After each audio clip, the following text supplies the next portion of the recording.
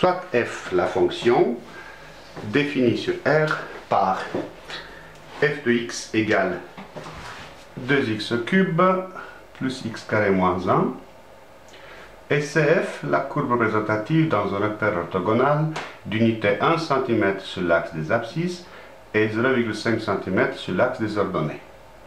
Donc c'est un repère orthogonal, mais il n'est pas orthonormal, parce que les unités sont différentes sur l'axe des abscisses et sur l'axe des ordonnées. Première question, 1a. Calculez f' de x. f de x est égal à 2x cube plus x carré moins 1. Alors f' de x égale la dérivée de 2x cube, c'est 2 fois 3x carré, plus 2x, la dérivée constante, c'est 0. Ce qui est égal, en mettant un facteur 2x, 2x facteur de 3x plus 1. Et c'est bien ce qu'il demande. Vérifier que f' de x égale 2x facteur de 3x plus 1. Petit b, déterminer le sens de variation de f sur r. Pour cela, on va d'abord résoudre l'équation f' de x égale 0, c'est-à-dire 2x facteur de 3x plus 1 égale 0. 2 fois x fois 3x plus 1 égale 0. 2 n'est pas nul. Ou bien x égale 0, ou bien 3x plus 1 égale 0. Le produit est nul quand un des facteurs est nul x égale 0 ou x égale moins un tiers. Alors, pour le sens de variation, on va représenter tout simplement comme on fait d'habitude, c'est-à-dire on représente dans un tableau x, f' de x et f. x varie de moins l'infini à plus l'infini, les valeurs obtenues, moins un tiers et 0. F' s'annule en moins un tiers et en 0. f' de x, c'est une fonction de second degré. Entre les racines, la fonction de second degré a le signe opposé du signe de a. Et comme a, il est 2 fois 3, c'est-à-dire 6, autrement dit positif, entre les racines, le trinôme négatif et en extérieur positif, comme chapitre polynôme de degré 2.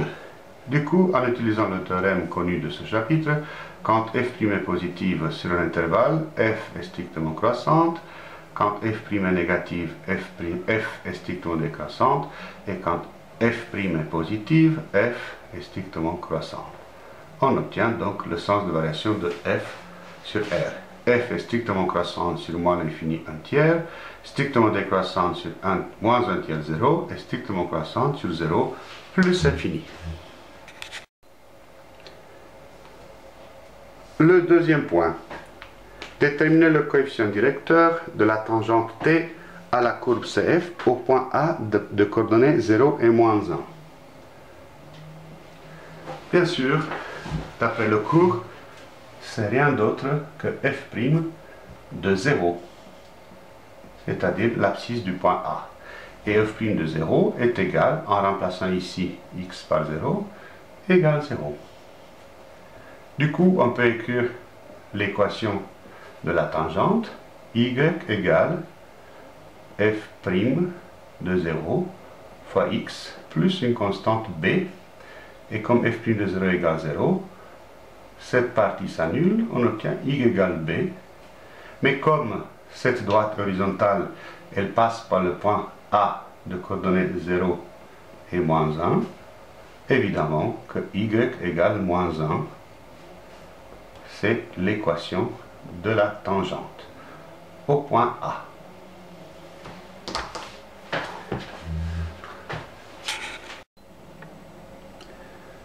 Et voilà le travail.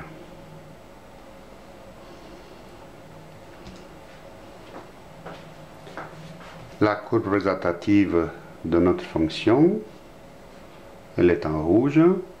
l'équation y égale 2x cube moins plus x carré moins 1, la tangente t, la bleue, tangente à la courbe rouge au point A, de coordonnées 0 moins 1, l'équation y égale moins 1, on constate tout simplement que ça vient de la fonction cube qui a subi ici un changement à cause du fait qu'on a additionné la fonction carré x carré moins 1. C'est pour ça qu'elle est strictement croissante de moins l'infini jusqu'à moins 1 tiers. Et puis elle est décroissante sur l'intervalle moins 1 tiers 0. Et puis elle continue sa croissance éternelle.